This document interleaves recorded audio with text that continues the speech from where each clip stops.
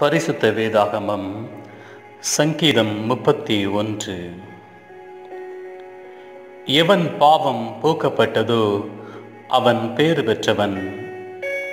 எவன் பாவம் மறைக்கப்பட்டதோ அவனும் பேறு பெற்றவன். ஆண்டவர் எவன் மேல் பாவத்தை சுமத்தவில்லையோ அவன் பேறு பெற்றவன். யார் உள்ளத்தில் வஞ்சகம் இல்லையோ அவனும் பேறு பெற்றவன். என் பாவத்தை வெளியிடாது இருந்த வரையில் என் உடல் தளர்வுற்றது.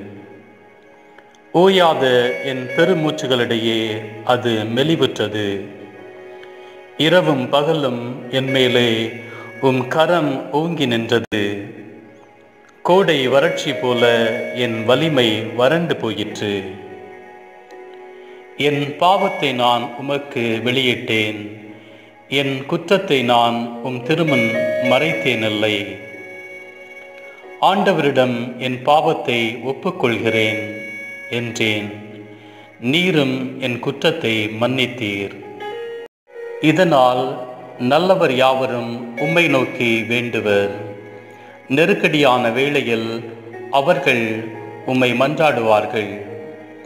வெள்ளம் பெருக்கெடுத்து பாய்ந்தாலும் அவர்களை நெருங்காது. ஆண்டவரே நீர் எனக்கு அடைக்கலமாய் உள்ளீர். இன்னல்கள் அனைத்து நின்றும் என்னை காத்தருள்வீர்.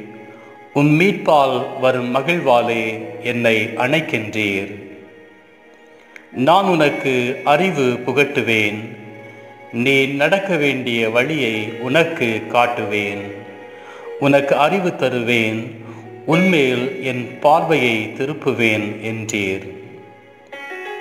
அறிவில்லா குதிரை போலும் கழுதை போலும் இருக்காதீர்.